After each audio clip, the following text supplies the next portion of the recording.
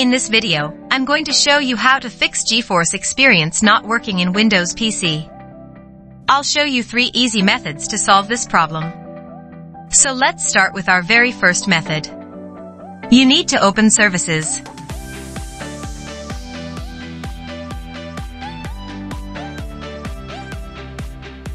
Now search for NVIDIA services. And make the startup type to automatic for all of them.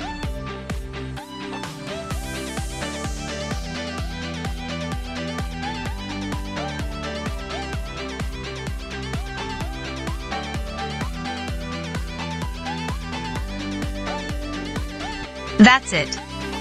Now try to open the software, and it should work fine. If not, go to the next method.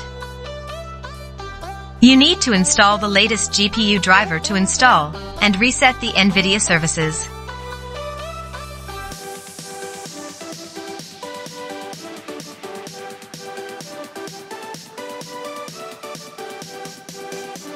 Fill up the GPU and system details correctly. If you don't know your GPU name, then just open Task Manager.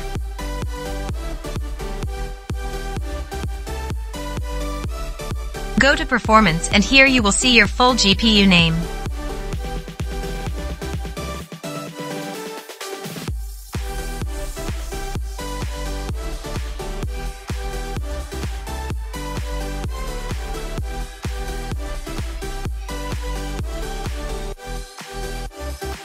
Now just download and install this driver.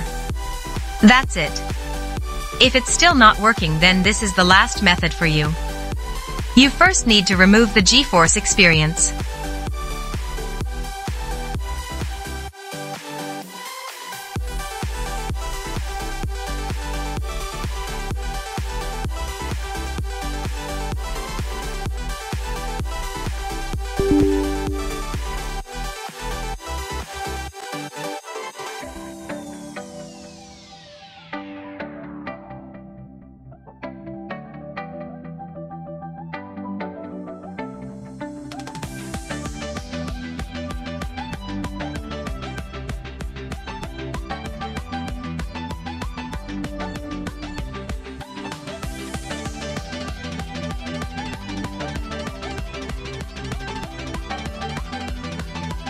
And now install the latest version of that software.